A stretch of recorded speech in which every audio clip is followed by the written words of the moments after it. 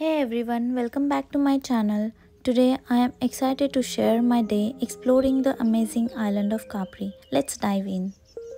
We started from Sorrento with amazing hotel tour package. Our hotel shuttle took us to the Sorrento port. From there we hopped on a boat to Capri.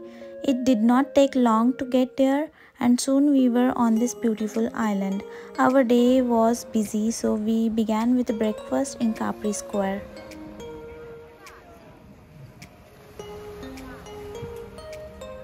We had until 3 pm to explore and we knew we wanted to try the famous chairlift. If hiking isn't your thing, so no worries, you can just take a cool vintage taxi for about 20 to 25 euros. It's a neat way to get up to the mountain. On the way back down, we grabbed a taxi and headed back to the port.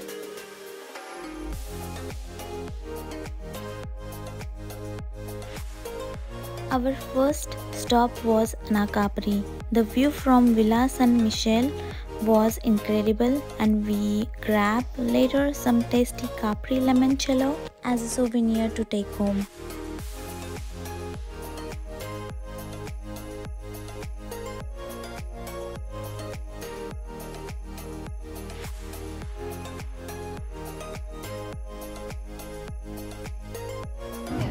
Prego signor.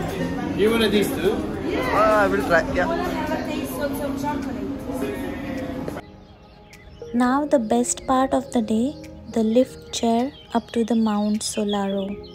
I can't even describe the view. It was so so amazing.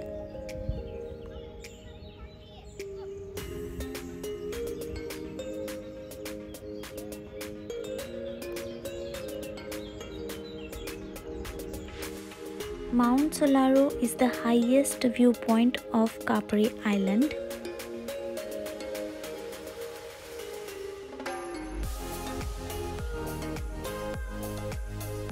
After that, we had a delicious lunch and then headed back to the port for some beach time and shopping.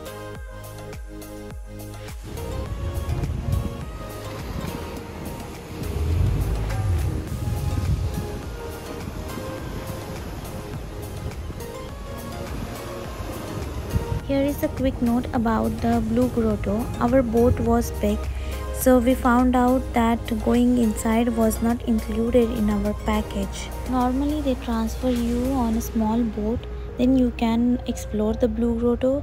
Even from outside, it was stunning. After visiting the Guardians of Island, we sailed back to Sorrento. Our trip to Capri and the southern part of Italy was amazing. From Positano to Amalfi Coast and all the way to Rome and Venice, I had the best time. By the way, we stayed right on the beach in Sorrento. If you want to know more or have any questions, just leave a comment.